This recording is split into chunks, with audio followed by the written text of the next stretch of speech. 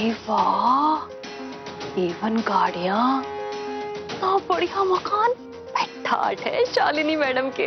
Hello commissioner साहब अब sir madam इस वक्त वर्कशॉप में बिज़ी है। आ, जी जी जी।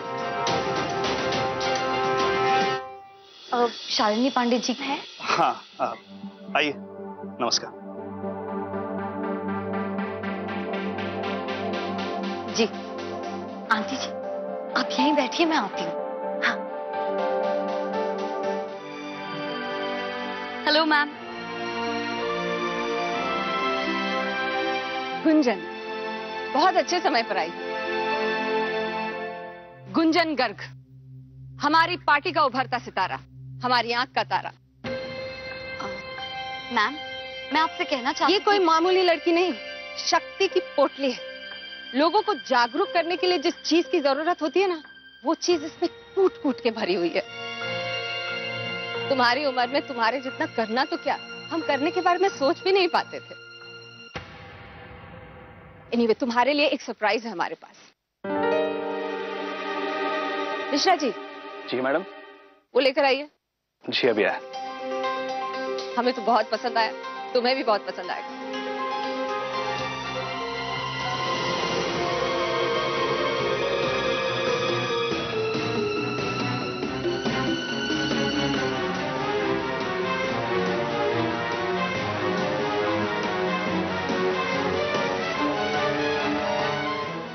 बदलाव की नई लहर।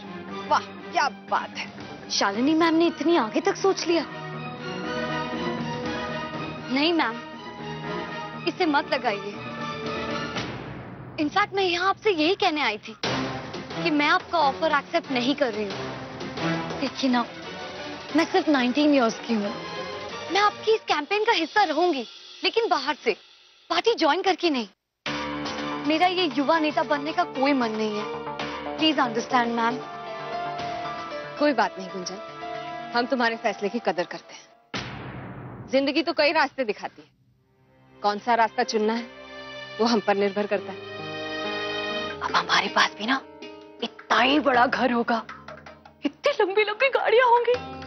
अरे वाह, बहुत सारे चमचे भी होंगे हमारे आगे पीछे घूमेंगे। हम्म। भैया जरा जूस लेकर आओ एक गिलास। चलिए आंटी जी। नहीं बेटा वो हमने ना जूस मंगवाया है। अब फिर कभी पी लेंगे ना? चलिए ना। पर बेटा वो जूस प्लीज़ अच्छा बेटा हाँ कर दी ना तुमने। और हाँ सुनो कब बुलाया मैडम जी ने? अब चलिए मैं बताती हूँ।